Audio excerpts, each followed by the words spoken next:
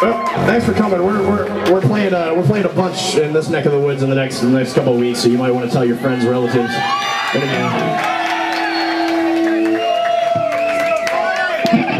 Anyway, I just, I just want to say we, we spent a lot of time apologizing for our president, but there's a lot of good about uh, about our country. Uh, there's a lot of great Americans, and I'm proud to be an American, despite despite what everyone says. So if we could just get a, a, a, a cheer of USA going, maybe for like five seconds.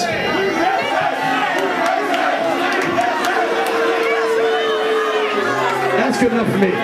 Listen, you guys are great. Don't even tell you any different. And now that we've had that, then here's a, here's a song that you might remember from the Smokehouse days. Yeah.